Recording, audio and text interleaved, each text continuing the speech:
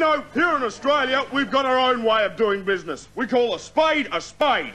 And we don't beat around the bush.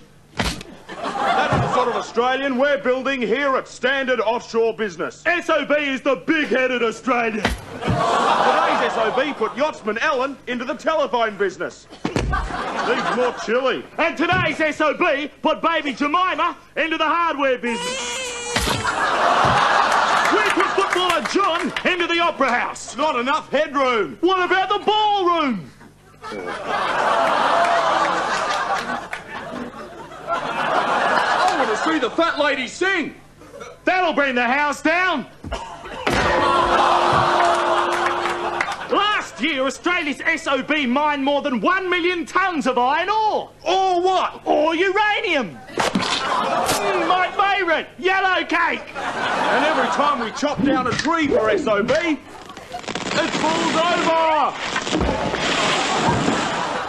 Investing with SOB gives you a stake in this big country. Your money goes offshore into oil. Platforms, that is. And we're harvesting the wealth in Australia's waters. That's got to be better than a slap in the face with a wet brick.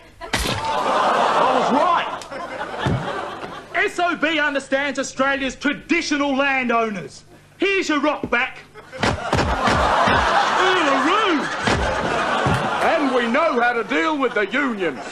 Comrade! Ooh, I've been privatised! He won't be having any industrial relations with Standard Offshore Business because at SOB, we're proud of what we stand for.